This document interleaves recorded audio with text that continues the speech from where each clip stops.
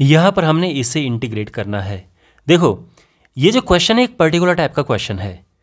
कभी भी आपके पास क्वेश्चन इस तरह से मिले कि एक यहाँ पर एक्स लिखा हो और फिर एक्स की पावर में कुछ कुछ पावर हो उसकी, और फिर प्लस वन करके हो या प्लस टू करके हो, ऐसे।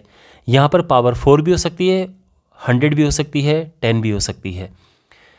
तो हमें क्या करना होता है कि इन दोनों को, इन दोनों की पावर को हमको एक जैसा बनाना है। ये पहला स्टेप है।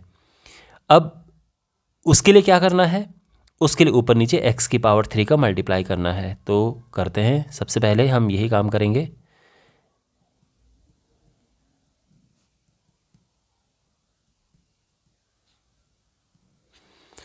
तो ये हो जाएगा, ऊपर तो आएगा एक्स क्यूब और यहाँ पे डिनोमिनेटर में है x power four x power four minus one ठीक है? ओके, और अब आप समझ गए होंगे कि क्या करना है। हम पुट करेंगे एक्स की power four equals to t और ये डिफ्रेंशिएट होगा तो होगा four x cube d x equals to d t तो clearly x cube d x हमें मिल जाएगा one upon four d t तो जो हमारे पास इंटीग्रल है, ये हो जाएगा, देखो। एक्स क्यूब डी एक्स की जगह पे one upon four d t आएगा, यानी वन अपॉन फोर ये है। इंटीग्रेशन वन अपॉन, देखो एक्स की पावर फोर जो है वो टी है, टी माइनस वन, लेकिन जो न्यूमिनेटर में एक्स क्यूब डी एक्स है, उसकी जगह पे वन अपॉन फोर तो मैंने पहले लिख दिया है, ये डी टी है। है ना? ये चीज़ समझ आ गई है? और अब होगा partial fraction one upon t times t minus one equals to A upon t plus B upon t minus one और ये हो जाएगा one equals to plus B t I mean of course यहाँ पे भी ये है और यहाँ पर भी हमारे पास ये है, लेकिन वो कट जाना है इन दोनों ने तो इसलिए मैंने ये नहीं लिखा है। ये समझ आ गया?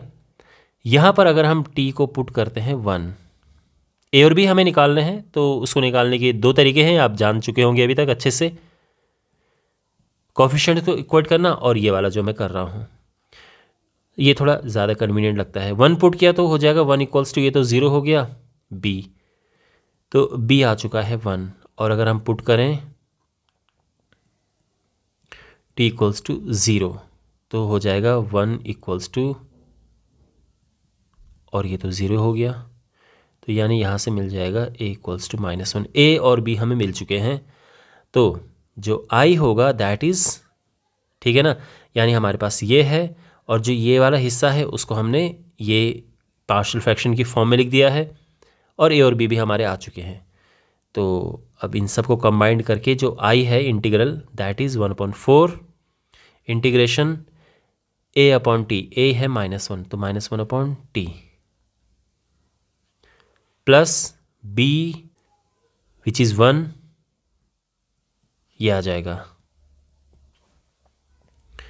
वन अपॉन फोर, और अब यहाँ पर हम इसे इंटीग्रेट करेंगे तो minus log t plus log t minus one plus C और ये हो जाएगा one upon four log t minus one upon t क्यों?